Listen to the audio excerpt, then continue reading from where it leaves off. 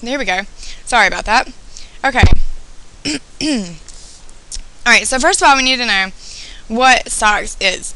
What are you even talking about when you say SOX? Okay.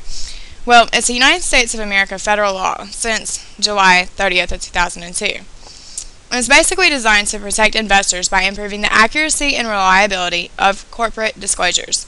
And SOX was passed mainly because of corporate and accounting crimes by Enron and WorldCom. These crimes became an issue of failing public trust for accounting and reporting practices. Um, SOX is named after U.S. Senator Paul Sarbanes, he's a Democratic from Maryland, and United States Representative Michael G. Oxley, and he is a Republican from Ohio. Some other names for SOX are Public Company Accounting Reform and Investor Protection Act in the Senate, and Corporate and Auditing Accountability and Responsibility Act in the House. So, we need to understand what does SOX have to do with IT and security? Well, IT security controls may have been able to prevent and or detect frauds within companies like Enron and WorldCom. Those who are committing frauds against a company have to obtain illegal or unauthorized access to IT systems. Then they are able to continue or conceal the frauds. IT security controls are also able to help companies verify compliance with other legal and regulatory requirements. So it would be important to con control processes that provide for issues like access control, detection of unusual account or access activity, checks and balances for records relating to financial reporting.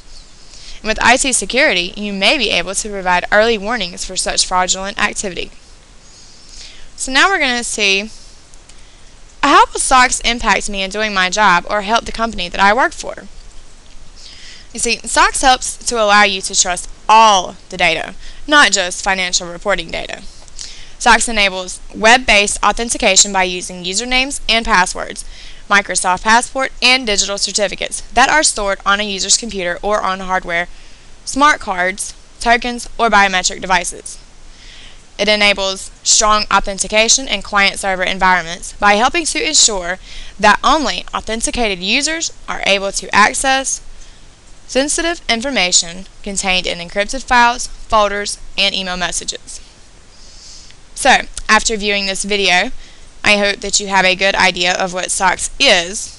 SOX is also known as Sarbox, Sarbanes-Oxley, and I hope that you also understand what SOX has to do with IT and security, and how will SOX impact me in doing my job or help in the company that I work for. Thank you, and have a great day. Goodbye.